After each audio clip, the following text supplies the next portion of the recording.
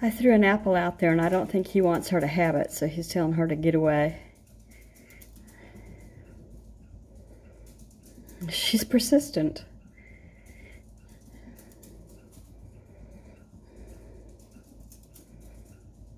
Oh, he's letting her have some.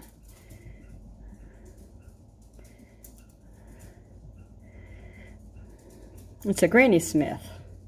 I think I could spare one.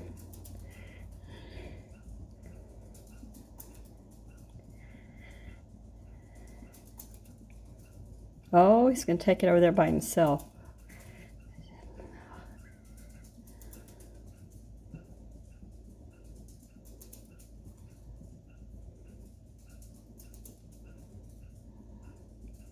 He's so mean to her.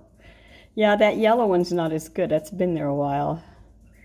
Yeah, I should pick that up and throw it away. Nobody wants to eat that one.